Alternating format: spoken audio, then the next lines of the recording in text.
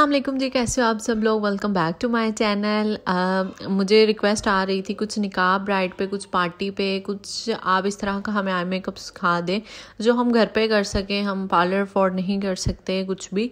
तो वीडियो आप लोगों के लिए है स्किप नहीं करिएगा एंड तक देखिएगा। मुस्रा कॉस्मेटिक्स की सबसे पहले यहाँ पर मैं बेस यूज़ कर रही हूँ। ये वो बेस है, जो हर स्किन पर चल जाती है। इसका टेक्स्चर मैं आप लोगों को दिखा रही थी शेड था फोर्टी और ये बिल्कुल मेरी स्किन टोन के साथ मैच है, ठीक है? और मेरी हर जो ब्रांड की फाउंडेशन है, उसमें डिफरेंट डिफरेंट शेड्स आते हैं और डिफरेंट शेड्स मुझे सूट करते हैं, ठीक है? और ये बेस इस तरह की है कि आपको इसके साथ कोई करेक्टर की ज़रूरत नहीं पड़ती लाइक इंतहाई फुल कवरेज है, ठीक है? आपने इसको फ्लैट ब्रश की हेल्प से पूरे फेस पे फैला लेना, उसके बाद वेट ब्यूटी ब्लेंडर से वेट ब्लेंड कर देना है और पाउडर से सेट कर देना है। ठीक है, मैंने कोई करेक्टर यूज़ नहीं करता, कुछ भी नहीं कहता फिर भी आप लोग इसकी फ्लॉलेस देख लो और फिनिश देख लो।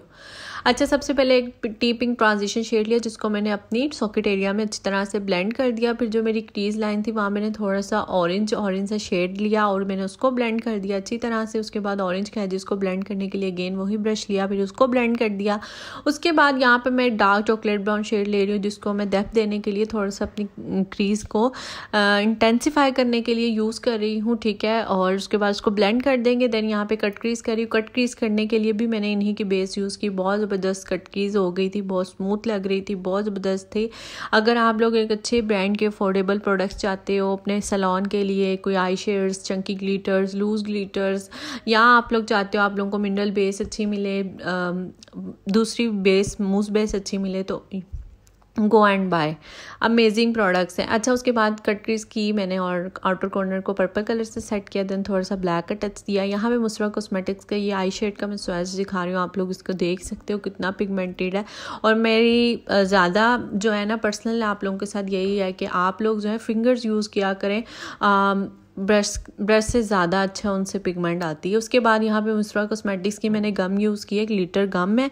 इसको लूँगी टैप करके अप्लाई कर लूँगी। यहाँ पे इन्हीं के मैं चंक्स अप्लाई कर रही हूँ, बहुत ज़बरदस्त है। बस थोड़े से आउटर कॉर्नर पे लगाए हैं। उसकी वजह क्या थी, ये थी कि थोड़ा सा आई लुक जो है इन्हेंस होगा और थोड़ा सा शाइनी शाइनी रहेगा, ठीक है? उसके बाद आपने जो है outer out sorry lower lash line पे ब्लैक शेडो लगाना है, उसको लाइट ब्राउन से ब्लेंड कर देना है मुस्रा कॉस्मेटिक्स के हाइलाइटर से अपने इनर कॉर्नर को और ब्राउ बोन एरिया को जो है हाईलाइट कर लेना है। देन यहाँ पे मैं इनर कॉर्नर बना रही हूँ। इनर कॉर्नर के लिए मैं जेल लाइनर यूज़ किया है और उसी लाइनर को मैंने अपनी वाटर लाइन में अप्लाई कर लिया है। उसके बाद यहाँ पर मैं मस्कारा यूज़ कर रही हूँ।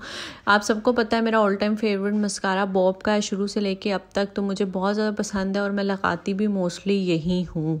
तो रिकमेंडेड है। उसके बाद यहाँ पे ब्लश ऑन अप्लाई कर लेंगे। जैसा ब्लश ऑन पसंद है, जितना पसंद है, उतना लगाएँ आप लोग, ठीक है?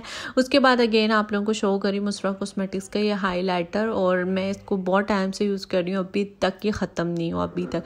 और इसकी शाइन इतनी प्यारी है, आपके चीक्स इतने ग्लोई लगते हैं, इसमें पार्टिकल्स नहीं है, ठीक है? तो आपकी स्किन के अकॉर्डिंग हो जाते हैं तो बहुत ज़बरदस्त लगते हैं। लैशेज़ अप्लाई कर रही हूँ क्रिस्टाइन की गम यूज़ की थी मैंने। लॉर सेंटर में रख के आउटर कॉर्नर इनर कॉर्नर से स्टक कर देंगे। और ये मेरी फाइनल लुक थी, उम्मीद करती हूँ वीडियो अच्छी लगेगी। अच्छी लगी तो मेक श्योर वीडियो को लाइक चैनल को सब्सक्राइब बेल आइकन को लाजमी प्रेस करेंगे इंस्टाग्राम पे लाजमी फॉलो करें। इंशाल्लाह मैं अपनी नेक्स्ट वीडियो में मिलूँगी आप लोगों के साथ। अब तक के लिए अल्लाह हाफिज़।